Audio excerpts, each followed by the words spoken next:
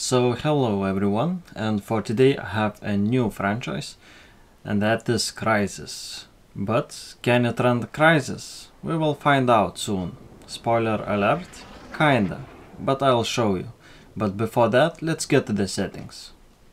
So from main graphics menu you can see that I'm using 4K and for X anti-aliasing I'm also at full screen mode and VSync is disabled.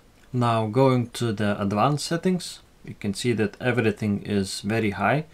The sound quality is custom because I tried to enable EAX, but I don't think that I managed to do it. And motion blur is disabled, but every time I restart this game it says custom, so not sure why that happens, but yeah, it's it's disabled according to in-game setting, but in configuration files and from visual quality I can say it's still enabled.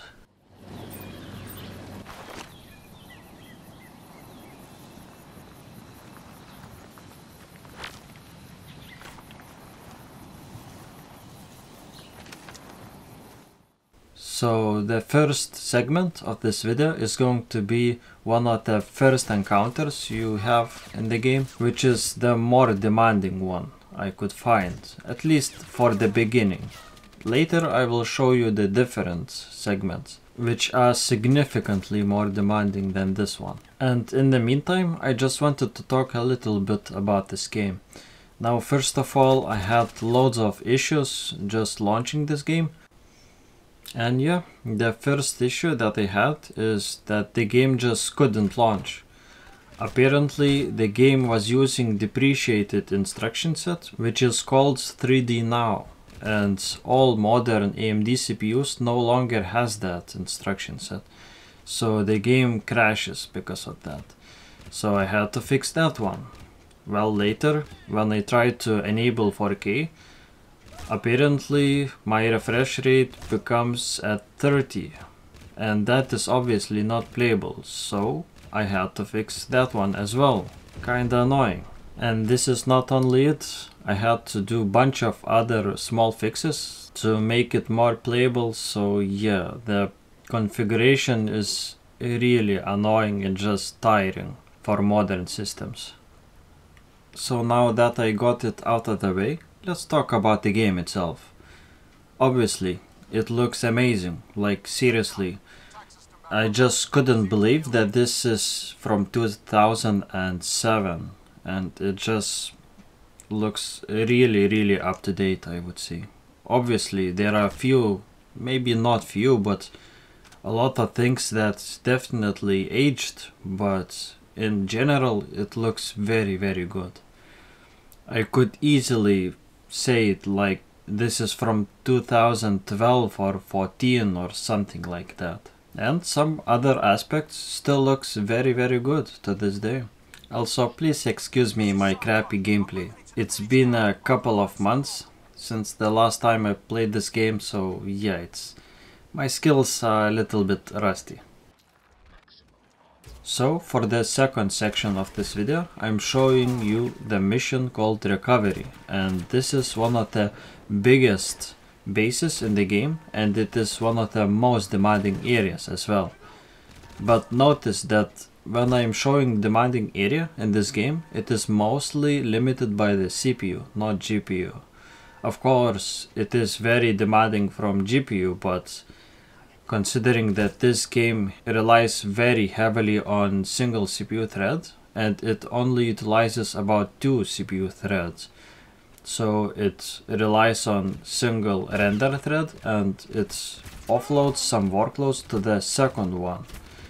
So yeah, the performance because of that jumps up and down like very very drastically. Of course, if you didn't know, I'm using a 32-bit version, not 64, because of certain fixes required. So yeah, and also I seen couple of posts that in 32-bit versions the game performs a little bit better, but I'm not entirely sure about that one. And yeah, as you can see, I'm using DirectX 10, not 9, because it runs better at 10. Also, I think DirectX 9 version doesn't have the highest settings. So yeah, that's automatically not an option for me and for this video.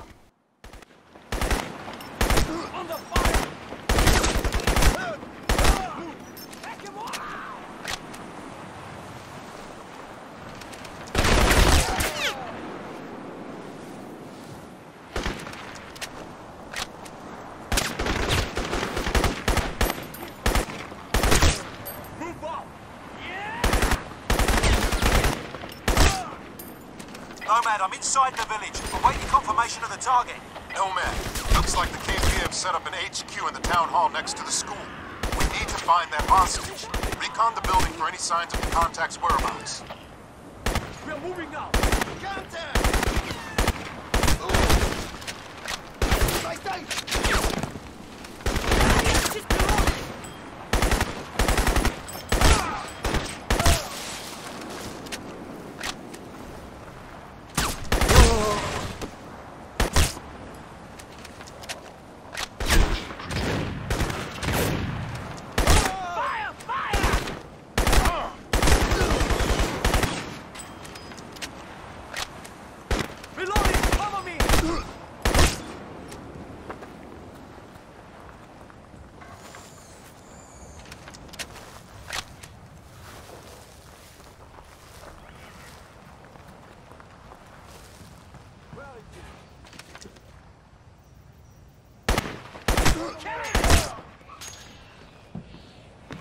Aż po jakiec!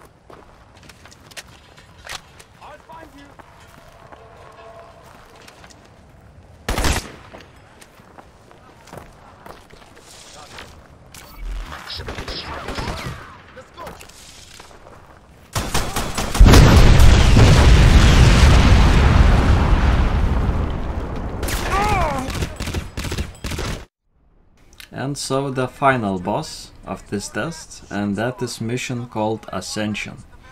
And in this one you are flying with the VTOL, I think, if that was the name of that aircraft. And soon you'll see the performance of this section. Also, I guess spoiler alert, but I really think if you're watching this video, I think you have played it at least once.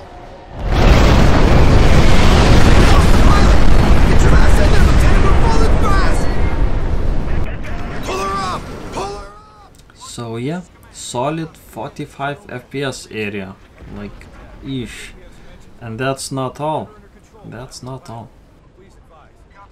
Of course the game looks amazing, but man, that frame rate, it just for evac to the USS Constitution. You got a visual on those friendlies up ahead? Roger. Good, now stick with them. They'll guide you through the valley. Stay with us, Nomad. We got a squad of Marines under attack at the camp ahead. Moving in to extract. F-36 escorts are airborne and inbound. ETA, five minutes. Roger. As you can see in some areas I'm actually GPU limited, which is kinda interesting. Also I'm not sure if in this mission it always rains, but sorry for bad visibility. Maybe it's a good test, because it might be more demanding, I don't know.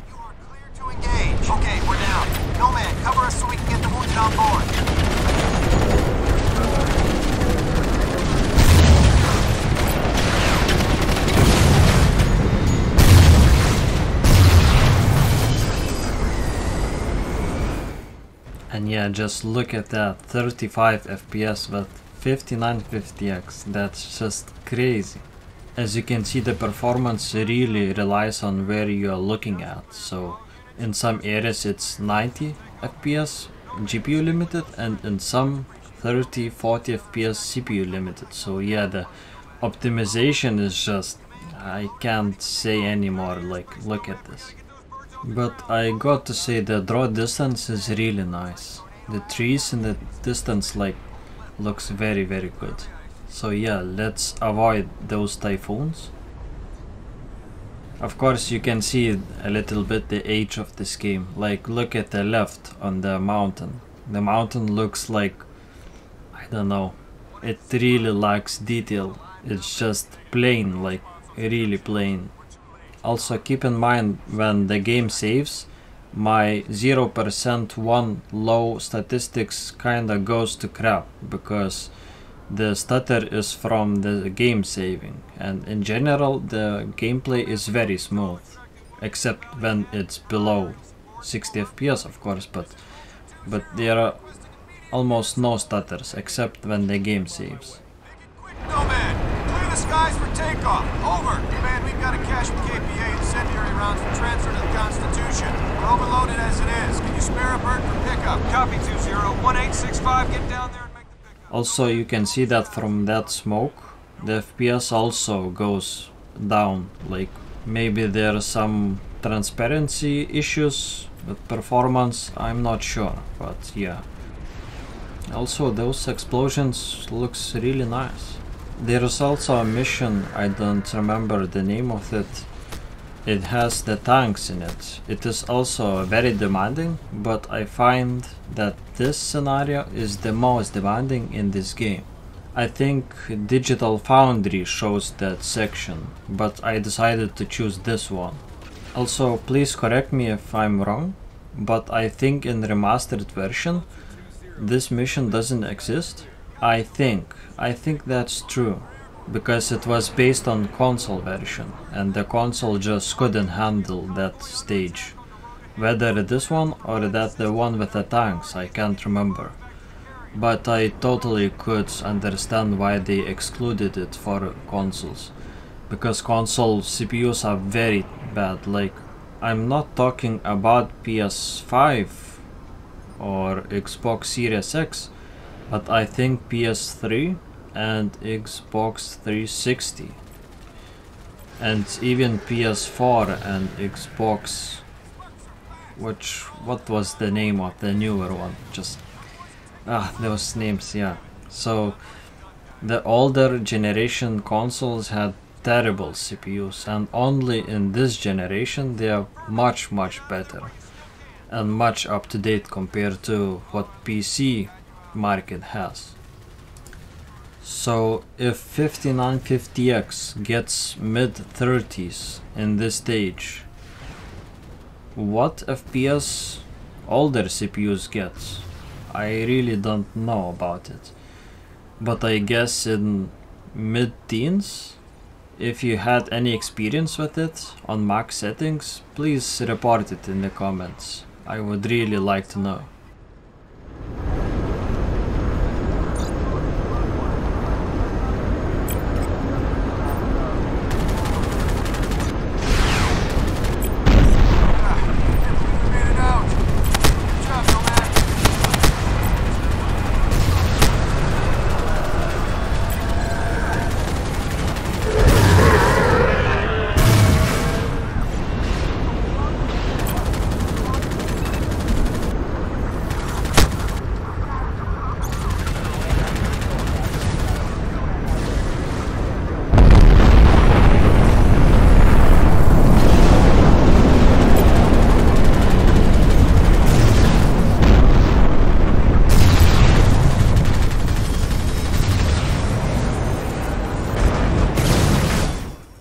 And when you look back, you see FPS goes down, down. So yeah, solid 30 FPS, not completely cinematic according to Ubisoft, but it's getting there. And that's about it, what I wanted to show about this game and performance and just my thoughts. So thank you for watching as always and see you next time in the next video. So bye bye. Helena, where are you? Copy, Psycho. I'm inbound. ETA 10 minutes. Make it quick, mate. I've got you a little souvenir.